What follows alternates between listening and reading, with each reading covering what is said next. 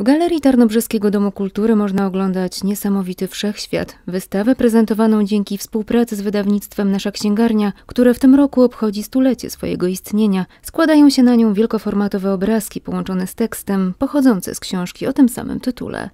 To już piąta wystawa, którą mamy przyjemność i zaszczyt organizować e, razem z naszą księgarnią. E, to przeniesiona książka o tym samym tytule, napisana przez panią Karolinę Bąkowską, która ma no niezwykle barwne CV. Jest to doktor fizyki, pracowała w Stanach Zjednoczonych, w Wielkiej Brytanii, była stypendystką Fulbrighta, także no i jest astronomem przede wszystkim z zamiłowania.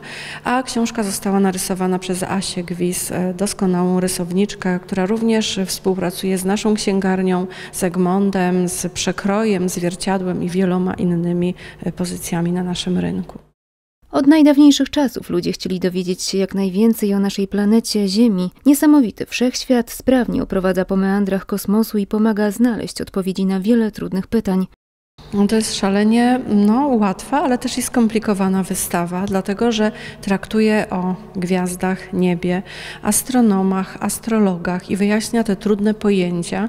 I muszę przyznać, że ja sama wczytuję się w tą książkę, bo tak pozornie jesteśmy zorientowani. Wiemy, dlaczego latem dzień jest dłuższy, zimą krótszy, jak wygląda niebo, ale to, są, to jest taka wiedza pobieżna. Możemy się dowiedzieć, kim jest e, astronom, a kim astrolog.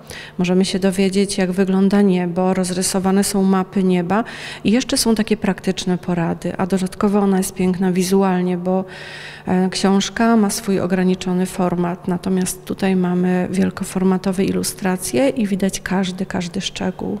Wystawa skierowana jest zarówno do dzieci, jak i dorosłych. Będzie prezentowana w Małym Holu w Galerii Tarnobrzeskiego Domu Kultury do 20 marca.